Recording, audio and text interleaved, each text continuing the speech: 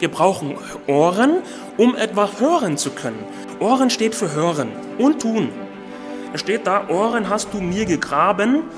Das, das deutet hin auf die Bildung der Gehörgänge bei der Entwicklung im Mutterleib. Da hat Gott schon dran gedacht. Und er hat die Ohren uns nicht gegeben, damit wir alles Mögliche um uns aufnehmen, sondern er hat uns die Ohren dazu gegeben. Er hat unsere Gehörgänge dazu gebildet, dass wir auf ihn hören. Das ist der Sinn, warum er uns das gegeben hat. Warum unsere Ohren überhaupt da sind. Die Ohren sind nicht die Halter für die Brille oder für die, für die Maske.